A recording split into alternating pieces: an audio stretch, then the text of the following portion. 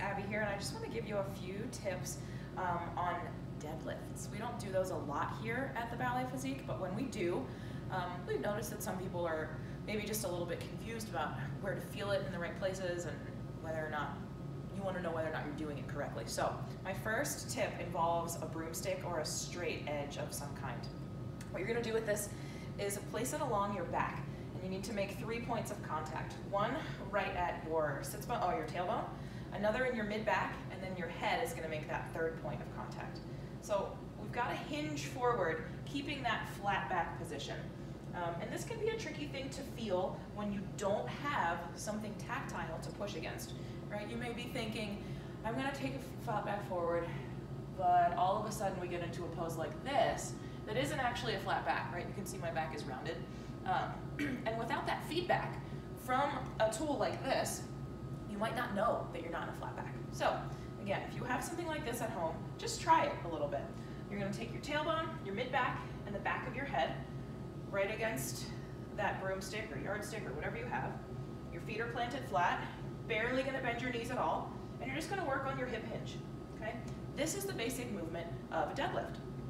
So once you have that going on, you can ditch your broomstick, then you can add some weight to it. Okay, and this is how we've cued this in class. So imagine that you have that broomstick behind your back and we're gonna hinge forward.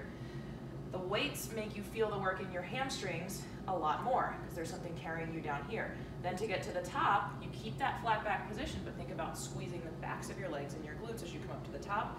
And I'm okay with a little bit of a tuck forward just because it exaggerates that booty squeeze, okay? So again, imagine that I've got that broomstick. Notice that my back is nice and flat.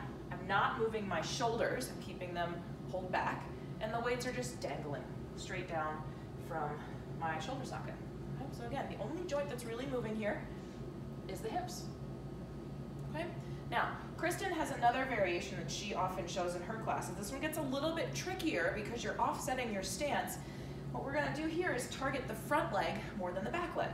Nothing changes through that torso.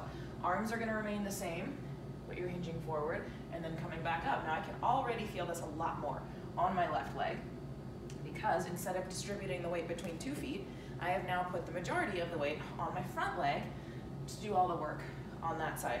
So again, if you're ever confused about your deadlifts, know that if you're not feeling it in the back of your legs and your hamstrings, and then at the very top with that glute squeeze, something probably is off. So I would recommend trying some of those tips.